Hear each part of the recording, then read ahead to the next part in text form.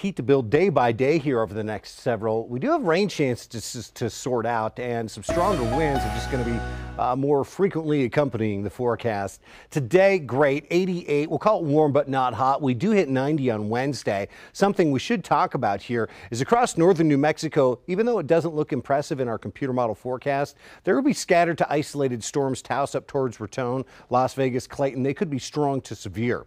Now, Thursday, we're going to have the winds crank up, and it's a couple hotter up at 92. That'll come with winds at about 25 miles per hour during the afternoon. Look ahead towards Friday, breezy, 93, three shy of the record high of 96. And on Saturday, that's probably the hottest day of this stretch. We hit 95 in Albuquerque, well into the triple digits across southern New Mexico. Potentially dangerous levels of heat being seen on Saturday. Sunday looks like an east wind day, and we love east winds this time of year. They draw moisture back into central New Mexico. And right now, the computer models are pretty excited about scattered showers and thunderstorms in the outlook for just about everybody on Sunday.